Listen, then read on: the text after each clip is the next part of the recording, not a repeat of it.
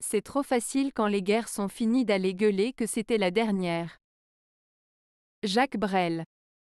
Cette citation de Jacques Brel met en garde contre la facilité à laquelle les personnes sont tentées de dire que la guerre qu'ils ont connue est la dernière. En effet, après un conflit, il est facile de penser que toute la violence et les conflits internationaux ont pris fin. Cependant, d'autres guerres peuvent surgir sans préavis, et il est important de garder à l'esprit que la paix est quelque chose de fragile et qu'elle doit être constamment entretenue. Cette citation nous rappelle donc l'importance de rester vigilant face aux conflits, même lorsque les tensions semblent s'apaiser.